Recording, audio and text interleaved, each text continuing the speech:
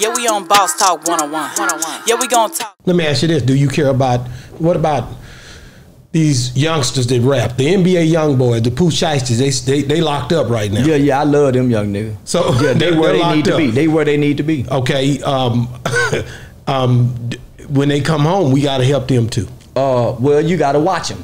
Uh, uh, you provide the alternatives and the resources. Hey, man, this is what we do over here. If they don't get out and call you, why you go fuck with them? You notice what we do. We went inside the juvenile facility, Mm-hmm. met them young niggas. That's right. We told them what we can do, what we will do when they get out, right? Their job is to make us a liar. Mr. Charleston say he'll do this when I get out. Nigga, if you want to rap, I'm gonna take you over there to the studio. You go get to meet him, him, him. If that's what you want to do. If you want to go to school, I'm gonna go over here. So whatever you want to do, my nigga, make us a liar. So once we go inside and make contact, provide them with the alternative and the resource. When they come out, if they don't call, I ain't looking for them, nigga.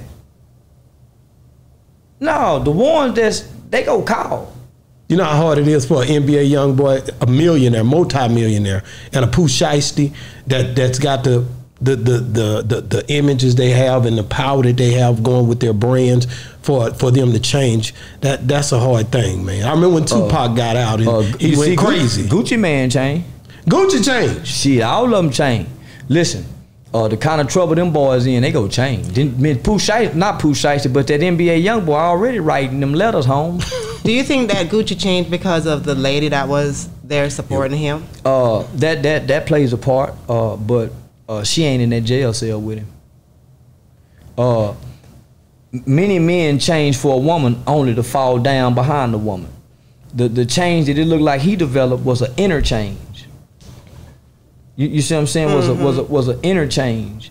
Uh, you know, a woman a woman plays a great great part in in, in motivating a man to change. Right, because Uh, all of these other gentlemen that y'all were talking about, um, we never seen that woman. Uh, but but but but but but the woman can't change you. She won't change you.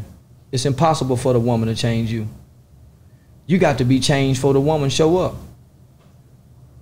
Because if if if you start changing when the woman show up, then she changed you, not God. When when when God gave Eve to Adam, Adam was already complete.